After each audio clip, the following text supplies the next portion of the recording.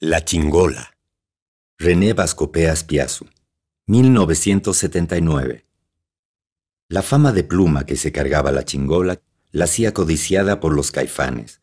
Su nariz filosa y grande brillaba esa noche de la fiesta. Brillaba roja de frío y sus ojos pequeños, negros e inquietos como ratones, recorrían interesados por los ojos de los muchachos, queriéndolos a todos y al mismo tiempo deseando que les coge el mejor y el más figura de todos, el poli fumando con autosuficiencia junto a la puerta de bordes astillados. Y la fiesta comenzaba con nacidos para ser salvajes, y la chingola entregaba su cintura a un caifán más bajo que ella, y movía sus nalgas pequeñas dentro del pantalón de cuerina negra, y el caifán trataba de apretujarla, y ella lo empujaba con el puño en el pecho, con fuerza, mientras miraba a Poli como pidiéndole disculpas entornando los ojos y ejecutando los pasos psicodélicos con desgano, a pesar de la maestría con que cruzaba sus piernas largas. Pero el poli reaccionaba sin reaccionar y abría la puerta dejando que la noche penetrara un poco en la fiesta con su frío y su neblina. Luego salía al patio empedrado y arrojaba una bocanada de humo y tiraba el cigarrillo recién prendido con un gesto ensayado de playboy triste. Adentro, la chingola se preocupaba y aumentando la resistencia de su antebrazo, mantenía la distancia necesaria como para evitar que el aliento del caifán la alcanzara. Terminaba el ruido de nacidos para ser salvajes, y el caifán dejaba deslizar su mano por el pecho de la chingola, y ella caía en cuenta de que cinco o seis caifanes la miraban y reían a carcajadas por la habilidad del enano, entonces, decidida y llevando su fama de pluma en la sonrisa condescendiente, se abría paso y llegaba hasta la puerta, pero el poli entraba nuevamente y la miraba indiferente, casi con desprecio. ¡Sale, bestia! El viejo Bengurias apareció en el marco sucio sonriendo a los caifanes y dos o tres muchachas palidecían al verlo. Ya se sabía su negocio. Poli fue el primero en acercarse al viejo.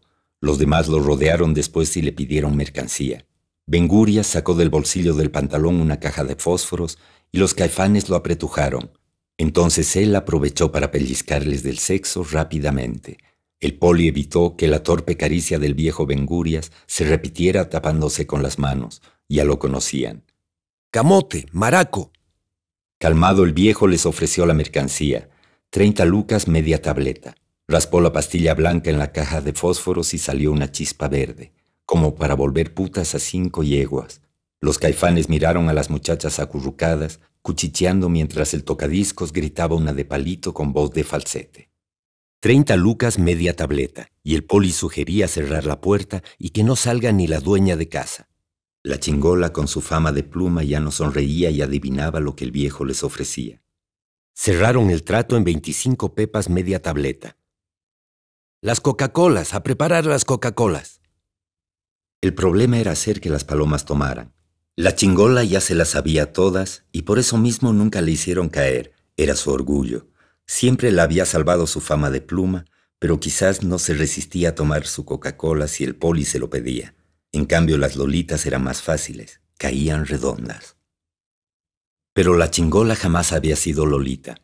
Parecía que había nacido sabiendo. Como una pesadilla, el poli con su vaso de Coca-Cola insistiéndole a una gorda la chingola ardiendo de rabia. Carajo, ahora no tomaría ni aunque se lo pidiera el mismo Leodán. El viejo Bengurias contaba la plata y de rato en rato miraba como los caifanes se esmeraban para que las chicas tomaran su refresquito y las envidiaba. Tenía que ir a otro negocio. Se lo dijo al poli que no le atendió demasiado, porque empezaba a impacientarse con la gorda. No te gastes demasiado. El poli sonrió y cruzó una mirada con la chingola que se negaba a beber del vaso que le ofrecía el petizo que la había sacado a bailar al principio. Pelotudo, pensando y transmitiendo con su mirada. El poli volvía al ataque sobre la gordita dispuesta a llorar.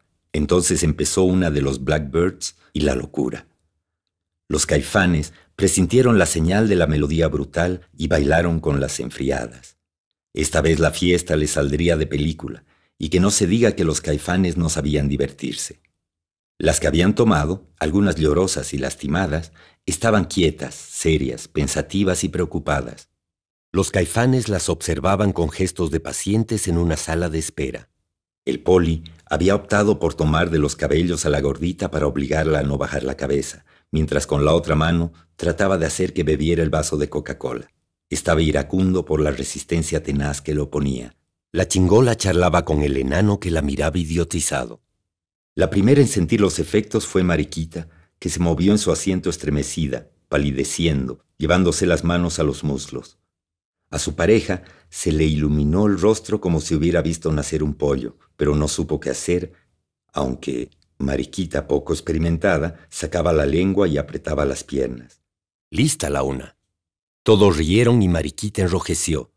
La chingola pensó, pelotuda, y frunció el ceño. Con este enano ni con dos tabletas. El bajo la abordaba nuevamente, con más bríos, alentado por el éxito de Mariquita. La música se acabó y la aguja del tocadiscos chirreaba sin que nadie se ocupara de ella. El único que seguía insistiendo era el poli que sopapeaba a la gordita que le cerraba la boca con fuerza, arrodillada en el suelo, gimiendo como una niña que no quiere comer. La chingola no había bebido y miraba al petizo a quien había logrado convencer que no hacía falta nada para que ella lo complaciera.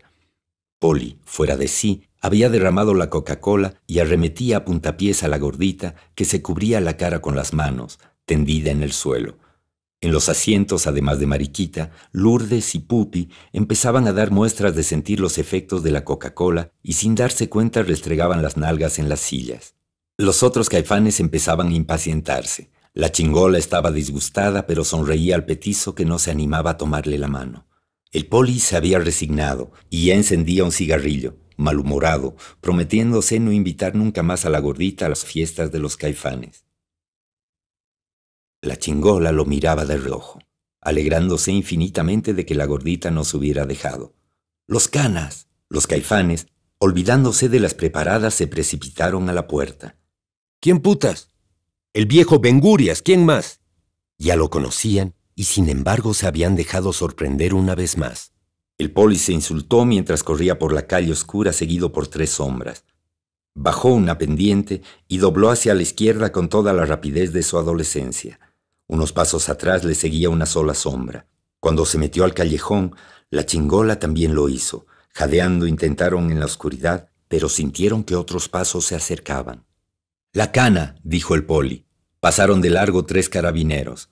La chingola respiró profundamente. Sus ojos se acostumbraron a la oscuridad y ya podía ver más claramente. El poli estaba asustado, su rostro desencajado. Después de muchos minutos él se desprendió de la pared y sonrió. Ella miró hacia la calle y no hizo ningún intento de seguirle la corriente. El poli encendió un cigarrillo y con la autosuficiencia de siempre, con ese ademán que antes volvía loca la chingola, aspiró el humo. Sin embargo, ya no era el mismo, ambos lo sabían. Lejos ladró un perro. El poli pensó que al fin y al cabo la chingola no tenía por qué ocultarse ni correr. Los únicos jodidos serían los caifanes. Las chicas no tenían la culpa. Pero ahí estaba. Había corrido junto a él hasta encontrar esa bendita soledad, pero la miraba agrandada, despectiva. La chingola con toda su fama de pluma y sus dieciséis años frescos. Chingola. Se acercó y quiso abrazarla y besarla. La chingola esperó a que ese rostro extraño se le acercara más, juntando la mayor cantidad posible de saliva en su boca. El poli sintió el escupitajo tibio, hiriente, y cuando abrió los ojos sorprendido, buscando su pañuelo para limpiarse, vio a la chingola que se alejaba hacia la calle lentamente.